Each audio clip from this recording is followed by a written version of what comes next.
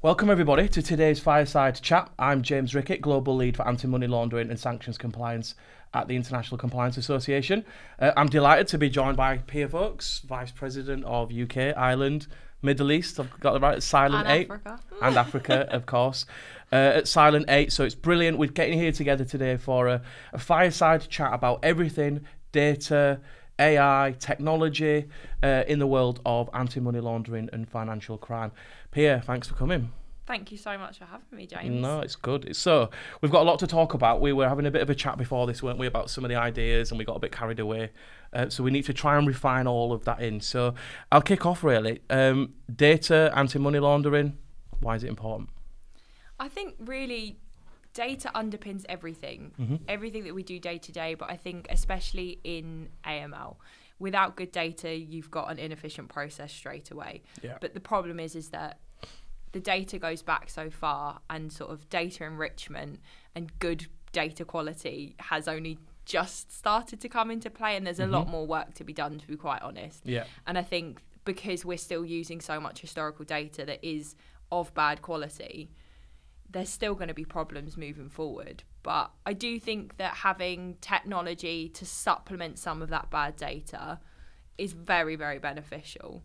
Um, I think that you can definitely see already, even if you just look at um, setting up a bank account now, it's pretty much impossible to put in wrong bank details because automatically your bank account is saying, we don't recognize that. Yeah. So you can see that data quality issues are being combated by technology already. Yeah. Well, we're going to talk about data because I think in uh, certainly a place like the UK, the US, where it's so heavily regulated, there is a requirement for all these data. But we, we see in the media, of course, it's not working. Things like beneficial ownership registries, which we'll come on and talk about. So let's let's talk about the evolution of data then. So you, you I totally agree. Data combating financial crime, it is one source of information for an organisation.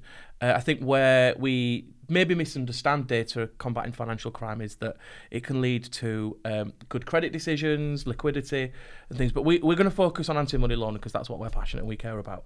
So let's take our mind back, say 15 years ago, 20 years ago. We were probably a little bit too young to be. I wasn't Were- even in the field. Yeah, James. neither was I, just so we're clear.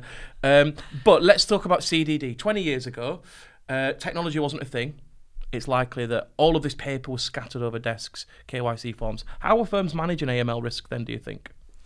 It's an extremely manual process. I mm. can't imagine how long it must have taken to open a bank account with the amount of paperwork they would have had to have gone through. Mm. And it just baffles me that someone is able to look at somebody's passport and sign off on it Yeah. without really checking any of the data points that come Yeah. along with that. And that's a huge responsibility. Yeah, well, I've got a view on this, and we're going to come back to this. And I know we, we talked about this a little bit earlier on. Uh, but the, I guess the question is was, M- was AML as much of a concern 15, 20 years ago for not just tier one financial institutions, but the regulated sector? Yeah, I mean, as I said, I wasn't in the industry then, so Yeah. it's probably hard for me to give, you know, a concrete Mm. answer. But I my opinion of it would be that probably not because of the fact that there just wasn't the process Yeah. in place, let alone the process then to regulate it Yeah. and to manage it and to look at eliminating the risk that the Yeah. process can carry if the process isn't there in the first place. Yeah, well, it cost a lot of money. So management of any financial crime risk was loads of money, and um, I saw a, a LinkedIn exchange the other day about how AML teams were perceived as the cost killers, the business prevention unit. I see AML evolution like this. So um, this is a really silly analogy, but but stick with it. Do you know when, or maybe maybe this is an insight into my life, but Here maybe do you know when you get invited to your friend's house, but it's a really last minute invite, and instead of joining the nice big table where all the rest of your mates are, you sat on like a little table at the side, so people can say that you were there, but you can't you, you can't really do anything. Nobody You're really at the cares. kids' table at Christmas. Well, I do. Yeah, so maybe maybe that's an insight into my life, but um, it's evolved, and that's obviously been partial, partially driven because of the regulatory scope increasing, number of fines increasing, and we've got to a point now where money laundering reporting officers compliance as a function is really important. So we've got this uh, archaic, paper-based management of risk, impossible to manage. And I remember walking into some uh, places where data used to be stored not that long ago, paper everywhere, and you can't manage the risk. And it's evolved, and firms have become smarter about utilizing the data. So let's let's talk about um, the evolution with CDD. You've already mentioned it. So you mentioned a really interesting point about a passport. Can you just uh, elaborate to the viewers what we mean when we say how do we trust what we're looking at? Yeah, sure. So I think you know to everyday people maybe that aren't in the AML compliance world, Mm-hmm. your passport is just a way of verifying your identity, but they don't really consider how many data points are really in that piece of Yeah. paper, you know, that laminated document. Yeah. Um, and I think to verify someone's identity is a much bigger task than people really realize. To say that you are 100% sure that that person's passport is theirs Yeah. and that it's a genuine passport is a huge task because what are you basing that on? But isn't the risk with everything? So how how can we say for 100% that anything is what it is? Can we do that? So, I don't think you can ever say 100% Yeah. because you can't get rid of risk ever. Yeah. Yeah. Yeah. Um, so you're always just trying to mitigate it. But I think that by using technology, you're able to draw in a lot more of those data points and verify them individually and understand okay, this all suggests that this passport is real, this passport does belong to Yeah. this person. So let's let's lean on this point because I think we're we're coming on to a really valuable and important point around technology here. Um, if we let's let's go. I'm going to use the pandemic as an accelerant because it was a, an accelerant for a lot of the world, uh, and we'll we'll talk about what happened to firms and the vulnerabilities that were faced. So pre-pandemic. Um, Major institutions, what was the mechanism? How did they verify who, who somebody was? So I walk into your firm here and I say, I'd like a, an account or I want to, a relationship with whatever product or service you're offering. How are you going to verify me? Sure. So, you know, typically you're looking for a passport, you're Yeah. asking for a driver's license, utility bill, maybe even a, a pay slip if you've got that as Yeah. well. Cool. So uh, I know you need all this information. I walk into your firm. I've got a passport, I've got my driving license, I've got a bank statement, and I've probably got a utility bill to prove where I live. What are you going to do with that passport now I've given it to you? Well, now you've got to ask, you know, is this person who they say they are by looking at their passport? Yeah. And typically, all people were doing is looking at the picture and going, yeah, that looks like James. Yeah. Much like a bouncer trying to get into a club. yeah, yeah. So, so you've looked at the picture. You, you're comfortable. It's me. Are you, are you doing anything else? You've got the passport in your hand. Are you, Yeah, and have you got any other tests that you're going to do? I think back then they were just signing off, right? Just saying that that is who they say Mm. they are and guaranteeing that. Well, we say back then, firms are still doing it, right? Signing Yeah, it off, and we'll, true. we'll talk about that. So, no other tests. You've got it in your hand. You're not like, I don't know, biting it. I don't know. What do you do? Do People smell it? Does it smell like? yeah, I mean, I know that they were reading the MRZ code um, at the bottom, or Yeah. MZ code, sorry, at the bottom. But again, that can't actually say that Yeah. that passport is that person's passport. It can say that that jumble of letters and numbers that are in that order yeah, has a v- validity, yeah, but it can't say that that's James Rickett's passport, for yeah. example. Cool. So I've now got an account because you've looked at my passport. You've signed it, Pete. It's your name, your signature's on there. Maybe a fancy stamp, or Yeah. some people do that. Um, and in some instances, some firms will say, "Oh, you can go to a notary. So you can go to a doctor, and uh, or you can go to a solicitor or a bank manager as a as a somebody that's recognised." Um, now, I'm assuming you might have done due diligence before. Uh, you've got the passport in your hand. Are you a, a trained border force agent? Are you? Do you know what one a passport looks like? Unfortunately, not in another life. No, and I'm not either. but um, as a control, it was kind of accepted in risk appetites that that would be an appropriate level of diligence. Cool. So the world, unfortunately, then hit hit the pandemic. All of a sudden, we can't meet. I can't come and see you. You've said that you need these documents. Now, thinking about this risk from a, a firm's perspective, the nobody was in a position to start declining business. No. How, how can you do that when all these economic stimulus measures are coming out? So now the pandemic hits. Now I want to come into your firm and get a relationship. How are you going to verify me? Everything's gone online, hasn't it? So But there was that little period of time where it happened so quick. there was that stumbling block where Yeah. nobody really knew what to do. Yeah. Um, and I think that even today, you know, d- doing this online, there is, you know, risk with it. Yep. But there is also challenges because not every part of the world is online, for example, but Good, not yeah, yeah, yeah. Within the UK is online. You know, you'd Mm. be surprised at the amount of people that probably still don't have internet. Yeah. And also, you know, the older generation, for example, they're not picking up a, a FaceTime or a WhatsApp call and things like that with with a bank Mm. because they don't necessarily know how to do that. Yeah, my grandma WhatsApps me, but she, it's all in one word, so there's no Yeah, there's no, no spaces. breaks. But let's talk about uh, what happened. So a lot of firms, as we've said, weren't ready um, to adapt to this. Now I'm not just talking banks. I'm talking real estate, high value dealers, uh, solicitors. Uh, so all of a sudden, then we're in a situation. People needed to do business, needed to, to create these relationships, and they couldn't. So what I don't know what your experience with this. I saw a lot of firms that were um, th- they would uh, say, right, send me a picture of your passport. Um, can we go on Zoom? Um, what we'll do is we'll we'll open the account now. You've got three months once we can meet each other again. So all of a sudden, these major controls for ID, and we're going to evolve this into transaction monitoring as well. All these major firms, all of a sudden, it was a problem. Now it's not so much of a problem. I'm a money launderer. Well, I'm not a money launderer, but if I was a money launderer, um, I'm thinking I can open an account here. Yeah. I can get my dirty money in, and I can move it back out again.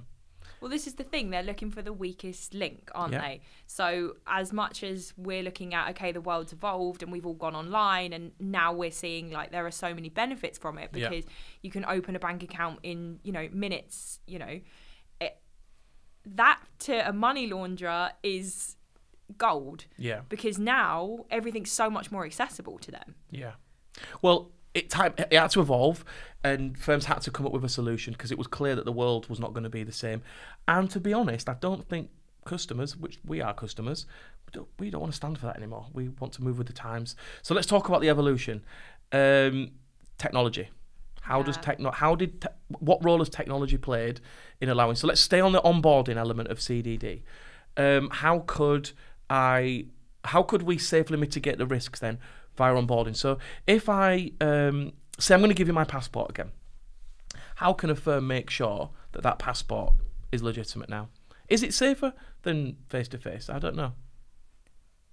I think that there are definitely benefits of using technology. Mhm. So, for example, like I said, because there are a lot of data points within the passport itself, Yeah. you're able to explore all of those avenues. So, it's no longer about just relying on the photograph as um, evidence for that Yeah. person being who they say they are.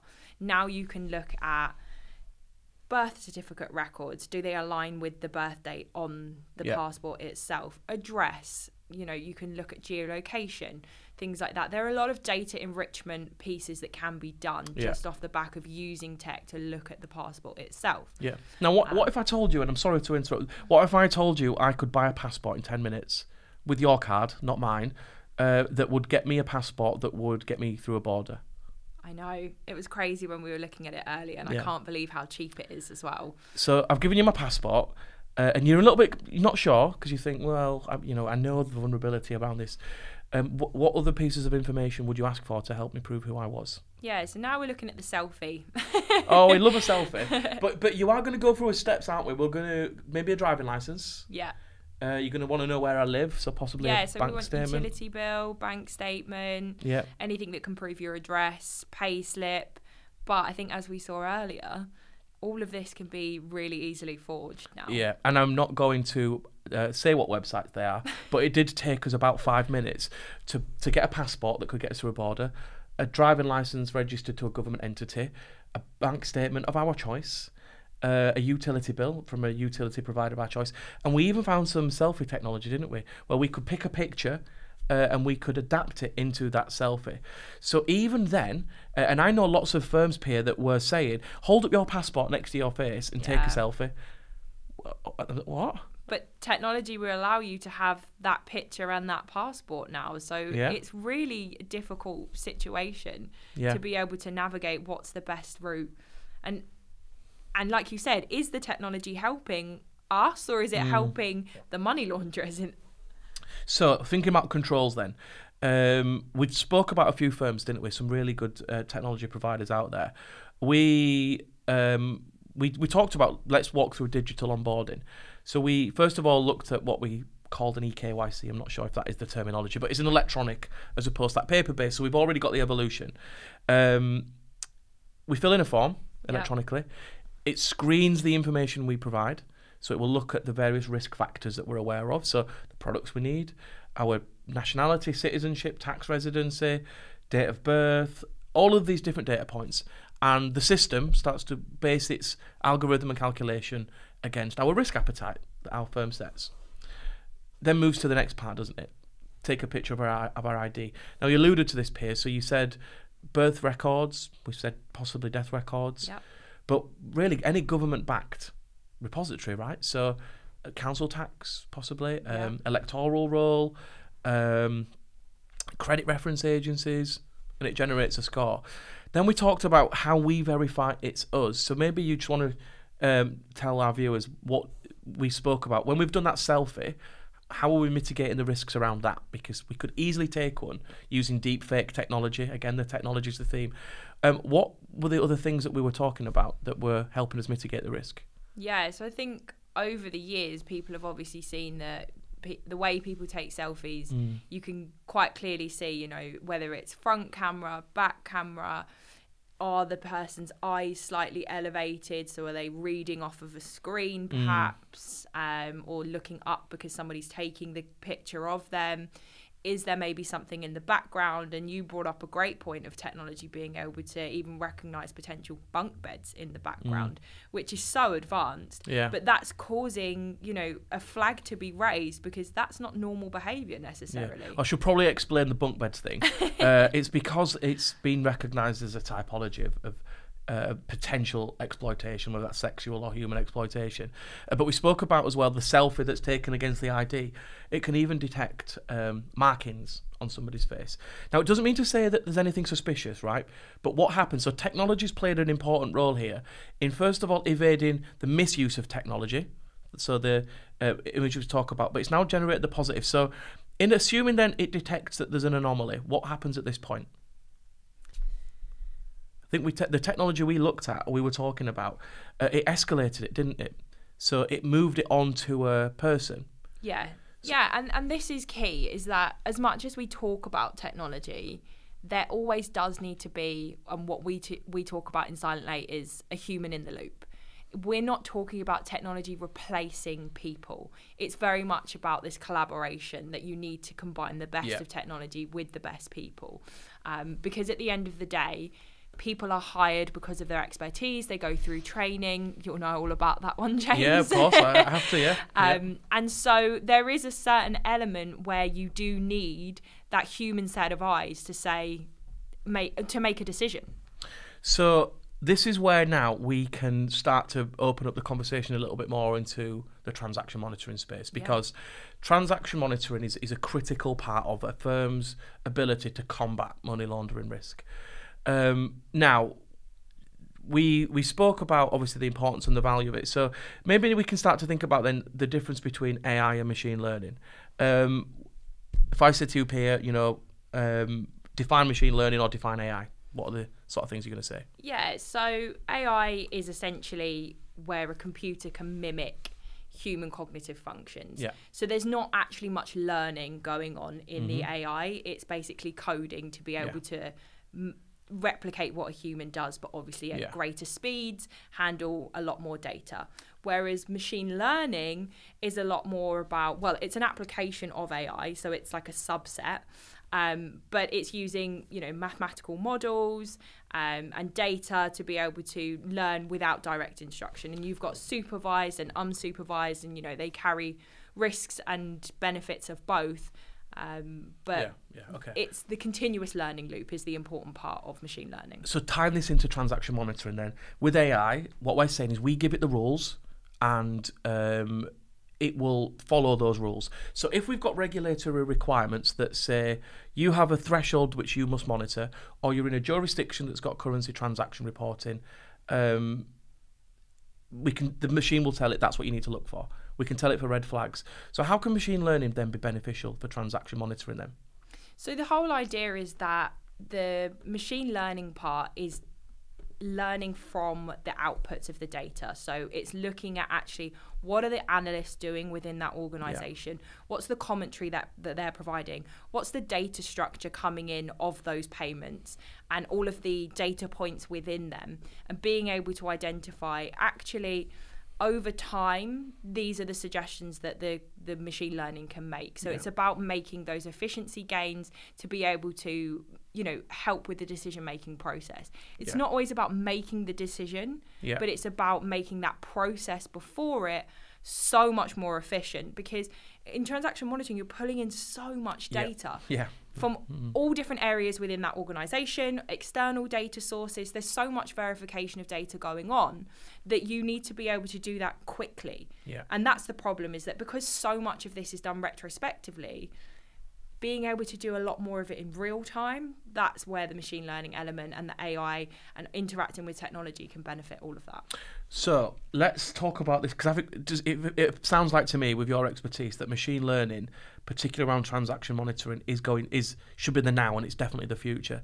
So let's build this into um, a specific risk. Okay. We had a conversation about terrorist financing, didn't we? We did. And we know it's abhorrent. Um, in fact, where we're sitting today, one of the most famous attacks in the United Kingdom was only a couple of hundred meters away.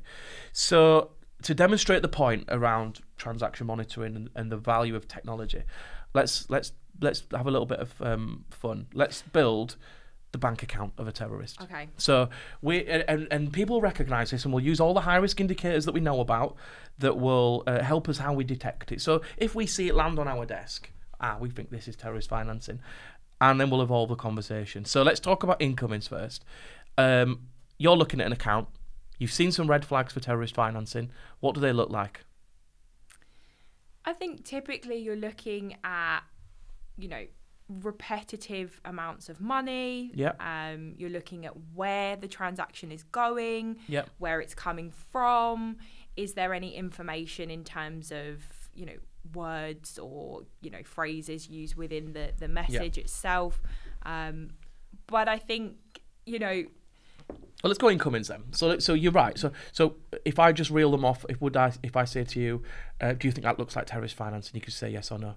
Uh, cash deposits from an unknown source. Yeah, I would say that's pretty okay. risky. Um, third party credits, so people paying in that we don't know who it is. Yeah, again, we do it all the time. We pay our friends, so your friends. Yeah. I get, none of my friends give me money. You're not the organizer within your group. oh right, okay. So so basically, then we've got all these payments from third parties. Uh, what about payments from high risk jurisdictions? So transfers in. Yeah, I mean that's that's a big red flag. Yeah. Right. Okay. Uh, payments from money service businesses. Again, all of these can be potential red flags. Mm-hmm. I think it's breaking it down further to looking at okay, how much are we looking at? And okay. and this actually brings on to your point earlier that's to commit an you know an act of terrorism or extremism yeah. doesn't cost a lot of money. Yeah. So it's not always looking at the high end yeah. of these transactions, but it's actually looking at the lower end and what they relate to. Okay. So and the reason why there was a re- reason why I use those because if I see those, uh, what I um, what I perceive is potential money laundering red flags. I haven't seen anything terrorism related. So let's talk about the, where the money's going. Yes, that's the financing aspect. Um, where does what does the bank account of a terrorist look like when they're sending money out? Again, I think it probably looks very similar to how it's coming in. Mm. Um, so cash out, third parties, charities. Yeah, exactly. They might be trying to clean up their act a little bit by making it look a bit more legitimate, yeah. like you said, through charities. But it is, te- you know, typically going to these higher risk jurisdictions. Mm. Um, yeah. Okay. So again, I'm gonna I'm gonna um, argue slightly and say they kind of feel more like money laundering typologies. I know this is a bit like difficult, but this is totally cool to be challenged. Um, I'll I'll see what I think in a bank account of a terrorist looks like. I think it looks like a salary, possibly government benefits, maybe pension, maybe some payments from friends and family. They're not as nice as your friends, unfortunately, but that's a kind of it. Now, I hope we both get paid our salary. We might be receiving some form of economic benefit. So it's starting to look a little bit normal. Now I'm worried about our accounts. Let's think about where it's going. So uh, we'll use ourselves as case studies here. Uh, what's our biggest expense? Mortgage, right? Yeah. Rent. Next, probably gas and electric. Maybe that's These- higher now. Yeah, these days. Maybe that's higher, yeah. Uh, but then um, car. car, yeah. Yeah. I know you like holidays, so possibly holidays. Netflix, gym. yeah, you've got all these sort of usual transactions. So they kind of look like it. So let's evolve this then. We've got some in, famous examples of terrorist incidents. You know, September the 11th was about four to five hundred thousand dollars to commit. The the London bombing. We spoke about this earlier. That was about eight thousand pounds. The source of that money was a loan that was taken by this individual whose profile appeared to make sense. Um, uh, we, evolve it. The Manchester Evening News attack, two hundred and fifty pounds. Berlin, and we were talking about Berlin because you were unfortunately there when. Yeah. Which that this is where it starts to become real to me is that when we start to talk about these terrorism incidents, and then well, I had no I had no idea that you were there, but that was a, an attack that cost nothing. So, thinking about monitoring then, so we've moved from a point where a terrorist who is designated by sanctions, we've now got extremists that are doing this, and it's becoming even harder for our monitoring tools to detect. But is it? Or is it just that we now need to think about the evolution of what might be financing this? So, we spoke about this earlier on, didn't we? We spoke about how uh, the funds can come from legitimate means, Yeah. but it's where it's going Yeah. And it's this evolution, isn't it, from terrorism into extremism.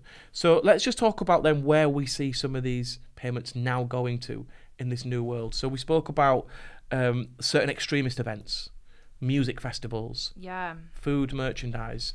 So how can transaction monitoring then in the with the use of technology, how could we look to negate or reduce the risk of these extremist events with that tool?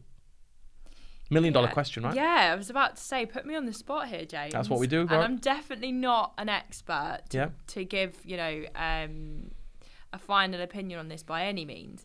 But I think that, like you said, it's about recognizing maybe these accounts that do look fairly ordinary Yeah.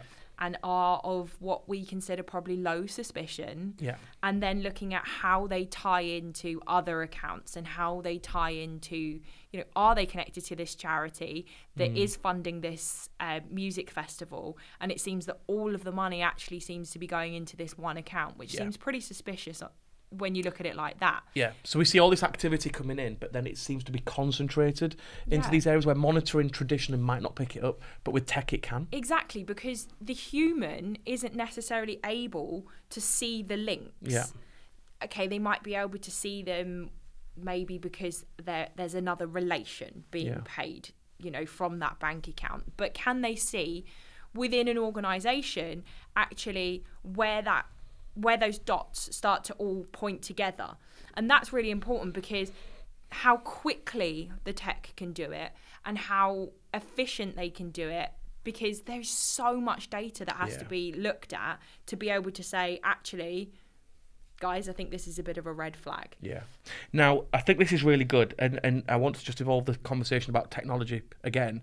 Um, so we we are probably being watched by our fellow AML experts around the world, um, but maybe people who are looking, aspiring for careers in in preventing financial crime. I nearly said in financial crime, and that's the, not the wrong yeah let's video. not put that out there Um, but actually, there, there's na- technology now is enabling uh, society to play their role in stopping this, and um, there is a really good app called Stop the Traffik.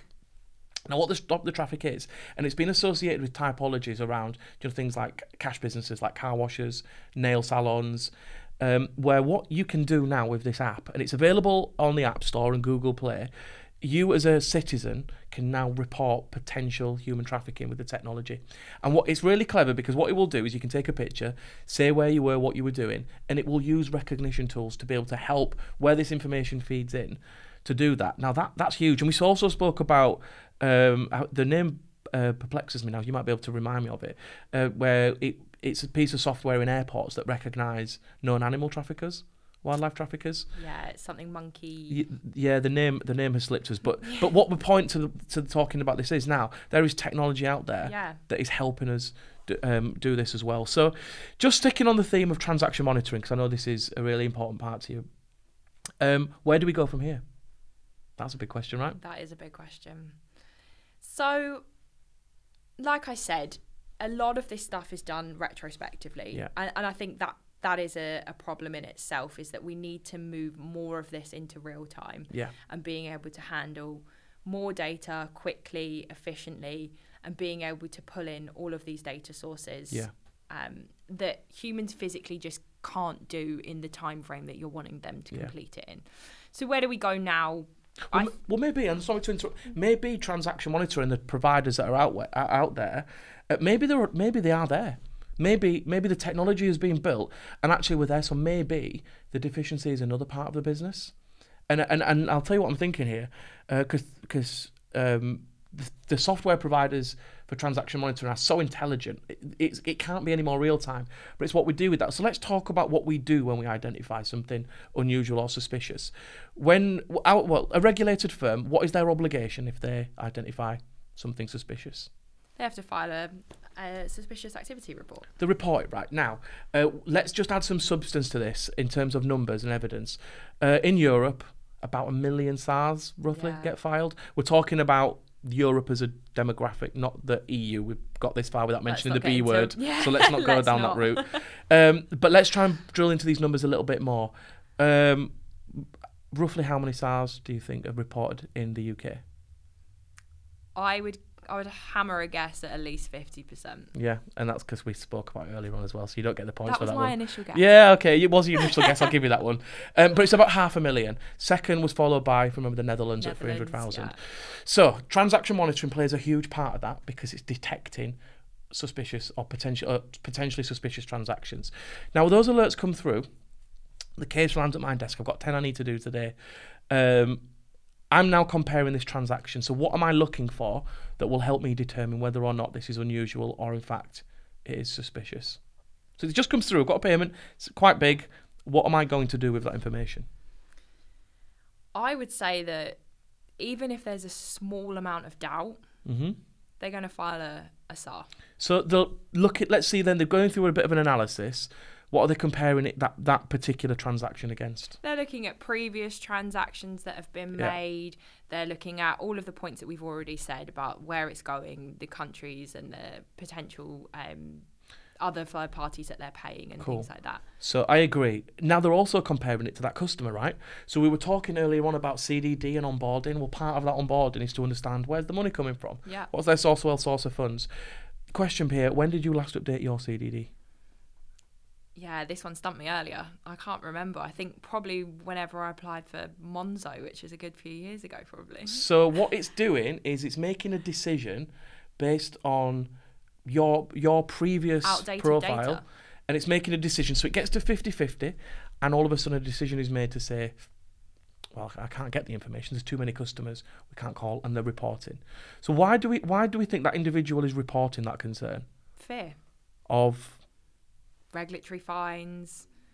I mean, the the whole aspect of um, reputational damage is huge. Yeah. Mhm. You know, we've seen some big names be burned at the stakes, and nobody wants that. yeah Um, so I think, yeah, it there is this whole culture of if I don't report it, the